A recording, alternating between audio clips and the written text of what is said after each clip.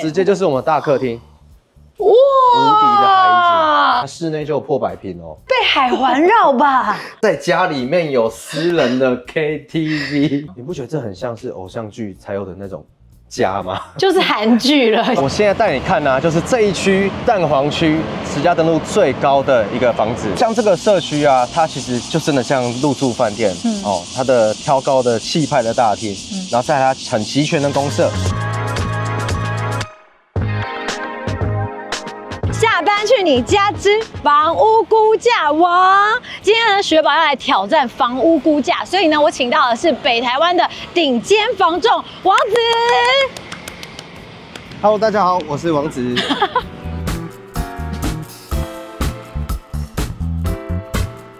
今天我会准备三间房子，那陆续带你看完，对那看你有没有办法准确的估到这个房子的价格，误差值两百万，上下两百万。上。下两百万。好，那么 OK 我们就来赶快来挑战。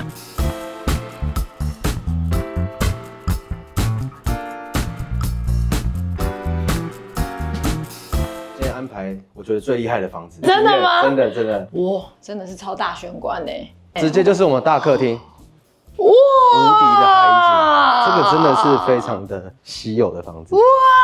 而且是超大平数的，它室内就有破百平哦。被海环绕吧？对，哇塞！在家里每天就是这样子，这个就是海景的豪宅，而且是百平豪宅。哦，因为其实说平常要找物件，你要找到大平数的豪宅是容易，但是你要找到无敌海景的豪宅就是很难的。非常困难。我们看一下它这边呢，有做一个嗯吧台啊，然后还有个餐桌，你不觉得这很像是偶像剧才有的那种家吗？就是韩剧了，现霸在气总欧裁的家。巴，欧巴 在哪里？我们可以看这边，好它这边有做就是一个吧台，那主人呢、可以在这边泡咖啡或者是调酒，在这边真的很棒哎，可以叫朋友一起来那种。可以来这边开轰趴。哇，这个好棒、哦！，这房子真的很厉害。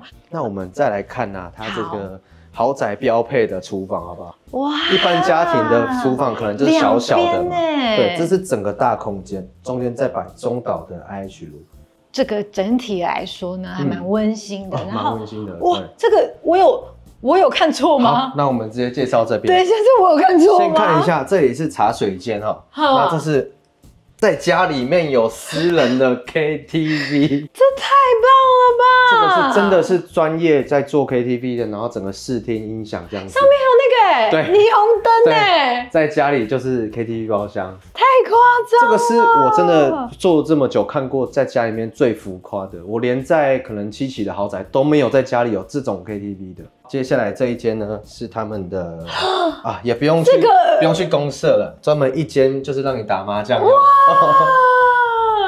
啊，你很难想象，就是一个家里有一个专门的，对这么大间哦，然后明明可以摆床，但这个就拿来打麻将娱乐用。啊然后这边还有一个对还有一个卫浴这样子对简单的卫浴啊，这样子。哦 OK，所以它基本上就是呃娱乐间，但是它娱乐间不是一般的娱乐间，它其实有兼顾说，哎，你使用或是你找朋友来的时候，他们想上洗手间啦、嗯想喝东西啊，嗯它其实都离很近。没错。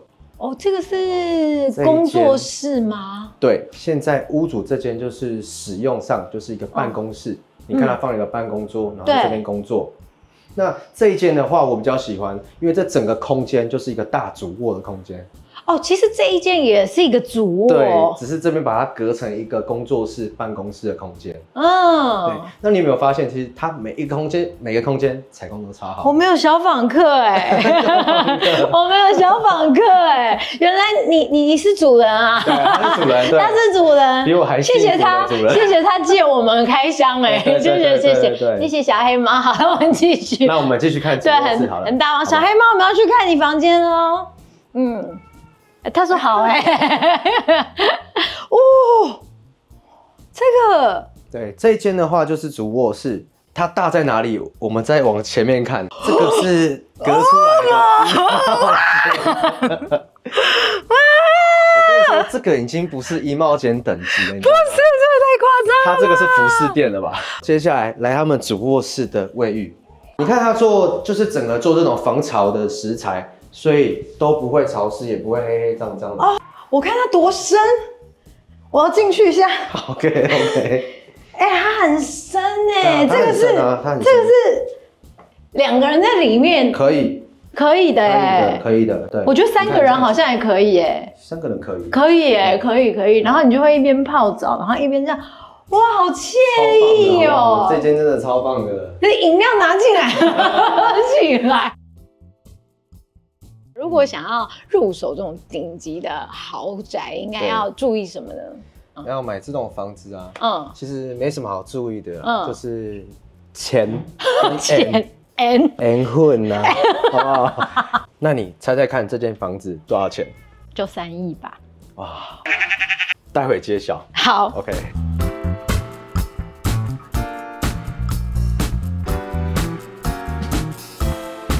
王子，那你接下来带我看什么房子？我现在带你看呢、就是这一区蛋黄区石家登路最高的一个房子，这么威电梯大楼。哦为什么要强调电梯？这边呢、周遭都是比较多是店面啊、旧公寓啊，四五十年老公寓。嗯那这边它是蛋黄区来说，它的电梯大楼是非常稀缺，楼高是三十一层楼。嗯那一般的电梯大楼都是用 RC。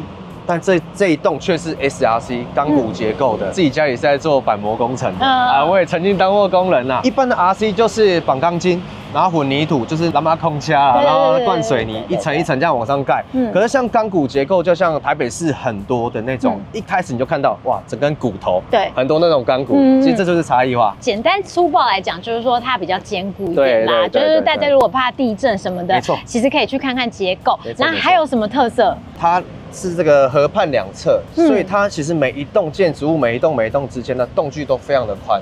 哦那，对，只要是楼层不要太低呀、嗯，你知道楼层是比较高一点的，它的景观都非常的好。哦那相对的采光也是非常的好，容易通风。啊，对对，所以这个就是这个河畔两侧的电梯大楼。的好处。的好处，创新的非常强。嗯，对，就是这边啊，医院啊，诊所，然后想到都有，夜市也有，嗯。这是这这一区生活技能最强的地方，也有车站，也有公车站，然后在火车站，然后上国道一号呢，要到台北也非常的方便。对，这里就是我们这间的房子。哇，这就是所谓你说的蛋黄区的房子啊没。错，这一间的话，它的总平数全幢是十七平左右，嗯那室内这个空间大约是十二平。哦，十二对，它。就是一个一房一厅一卫的一个格局。这个格局一开始啊，它是可以做整个大开放空间的。啊，对，只是说它做了一个分割，就是隔开来，嗯隔开来一个客厅，然后一个房间这样子。一般的房子你很难买到像这样子的采光跟动距，视野跟采光都非常的好。好，然后呢，再来就是因为它这是有隔开的。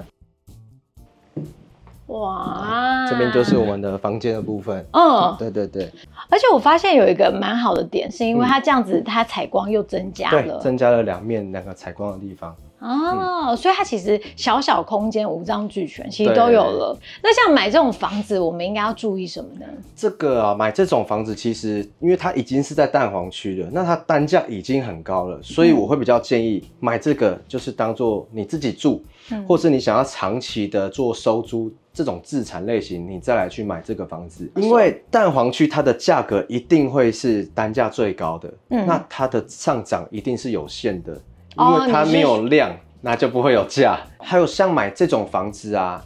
就是它的屋龄，像这一间的屋龄是十六年了，嗯嗯，那我们可以知道的是，进来这个装潢都是最原始的，那我们就要很小心，就是看它会不会有渗漏水的问题，对，这个是消费者比较需要注意的地方。哎，雪宝，那我问你啊、什么问你猜题？猜看，这一间房子嗯，多少钱？好，一千六啦。哇，那你非常喜欢这间房子，你感觉超喜欢。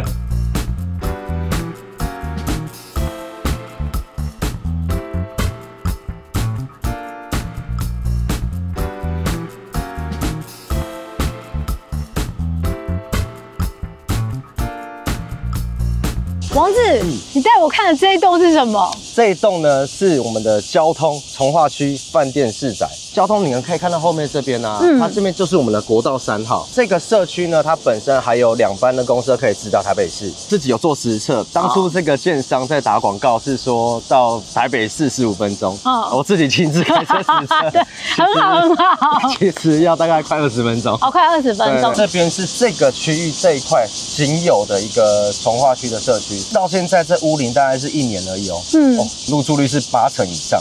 哦，那也会不会是因为入住率高，所以这边的生活机能相对会不会比较完整一点？哦其实蛮完整的，嗯。诊所哦，超商。卖场好像也有？有有有有。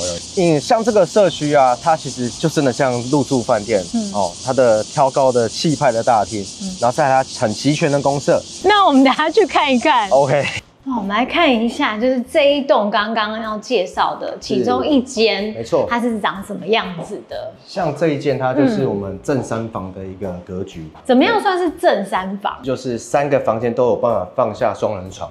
哦这个叫做正三房，这是基础。你。如果说那一个房子是只能放单人床，甚至就小小的，那，我们俗称二加一房，对。这边过来这边就就会是沙发，然后放电视电视的地电视方墙这样子。好，然后这边是哇，这边整个采光很好哎、因为我们这边是朝东的，对，那所以它的采光是蛮好的。哦，哎、这边是一卧还是两卧啊？两个，两卧，所以这边是其中一个客卧是。客卧，对，哦，也是有做基本的干湿分离，这些都有。好，然后再来是这是次卧，这间是次卧，这间是客房，嗯，现在是有开灯的、那我把灯关掉，哦，采光超好的，其实没差。其实几乎没差，你看哦，嗯。其实没差。我们要进到主卧去了，哇，女这感觉上女主人好像已经蓄势待发了，对东西都放进来准备要了。进来，就是主卧室的卫浴。哇，这边还藏了一个卫浴，对，这边是，嗯。它的设计会让人家觉得说啊，就这么小间，可是对。哎、打开门关上之后，哎、有一间就是主卧室的卫浴，对，然后这边搭配的是一个智能马桶，卫浴也是有开窗的。嗯，对，所以它是非常通风的，就比较不怕会有潮湿发霉的问题。像这一间的总平数是落在四十三平，对。然后加一个平面车位。嗯。那你看到室室内这些你脚踩得到的平数大概是二十三平，嗯，那公设比嘞？公设比大概三十四吧。哦，合理的公设比，没错，像大家要找从化区的房子啊，我觉得你们可以朝几个方向去看。嗯。这个建案这个社区，嗯。标的物的周遭，嗯。是不是有很多的新房子？嗯，或者是说，像这个社区，嗯。周遭都是老房子，对，都是旧公寓，嗯。哦，没有什么电梯大楼管理的社区，嗯。那这个就是稀缺性。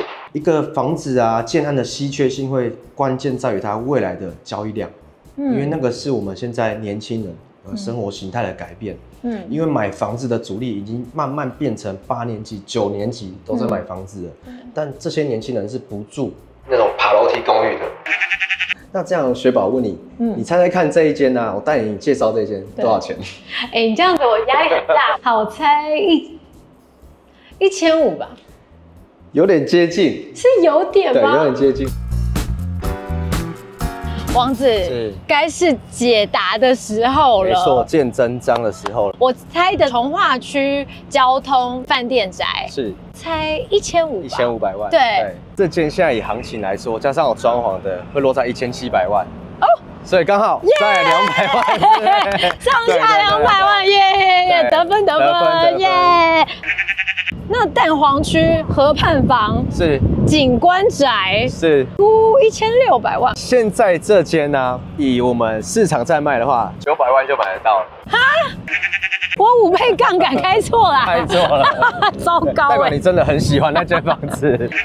还有一个让我超惊讶的，海景真的是哦，我第一次看到无敌海景豪宅，我那时候猜三亿，这个就差的有点多了。这件现在也有在市场上面卖，那拍价是六千五百万。对，差很多。呃，三题对一题而有啦，已，得一分啦，得一分啦，啊得一分还算还还可以吧。OK OK OK OK 吼对，各位观众，聪明的你们看到这里一定知道雪宝今天在哪里了。其实我今天也是莫名其妙被带过来的。原来我们今天的三间房就在基隆啊，这就是我们的基隆女婿，也就是基隆的顶级房仲王子。Hello，大家好，我是基隆女婿王子杰。现在才讲，对 基隆女婿啦。好啦，那基隆女婿可不可以跟我们分享一下，就是在地人在买房有没有什么特别跟外地人想的不太一样的地方？OK，这个其实在外县市来说啊，嗯哦，基隆就特别咯。对你看，其实大家的刻板印象就是哦，基隆非常潮湿，对，哦，常下雨，很潮湿。嗯那所以在基隆，其实大家比较会去看西晒的房子啊，啊，因为就比较不会潮湿了嘛。嗯，窗户开那边嘛，对对对，哦就比较不会湿气这么重，反而大家都希望就是阳光能赶快进到房子里面。选择的那个方位就很不对对对一样。然后再来呢，就是基隆这边啊，就是非常的缺停车位。啊这个跟外县市来讲，基隆是更缺、更缺、更缺。这边的房子啊，都是四五十年的房子居多啦。嗯，对，那以前的房子都是爬楼梯的公寓，哦它比较不会有那种啊电梯大楼有停车位。那目前基隆市这边的新建案啊，车位一个竟然高达三百二十万，有人买单。基隆有七个行政区域，可是每一个区域啊，新建案你用手指头算得出来，不超过五个。哦，所以你要么就找到很旧的，要么就找到很很新的，新的但很新的也是稀缺。对，现在啊，政府不是在打那个囤房税嗯。哦，我们贷款第二户只能限贷六成，嗯，可是各位观众朋友，我们现在基隆市是没有这个限制的，就是其实哦基隆在以往啊几年前就一直被市场低估了。那对于市场来说，有一个边际效应，哦非常多的双北人的，甚至到桃园都有人来外溢来这里对，跑到这边买房子的。所以算是一个利多，然后也是也大家外溢的其中一个选择。没错，讲到这里，王子我有点好奇哦，你不到三十岁是怎么变成顶级房仲的啊？其实是真的，一路上非常的破釜沉舟，哦那也是用睡眠时间换来啊。当然最重要的，那如何成为一个真的客户的顾问，那还是真诚，不要去说去欺骗或者是去话术客人。嗯那我们是用比较真诚。假设现在年轻人要买房子，嗯那条件真的贷款没办法，嗯那我们也不要硬把他推到签约桌上去签约。就是诚实以待，然后利他主义，对然后还有就是用很多很多的努力来换来没。错，好，那我祝你一切顺利，然后也一直一直很顶尖。谢谢谢谢好，然后我们也谢谢各位的收看，我们就下次再见喽。谢谢王子，谢谢大家。拜拜。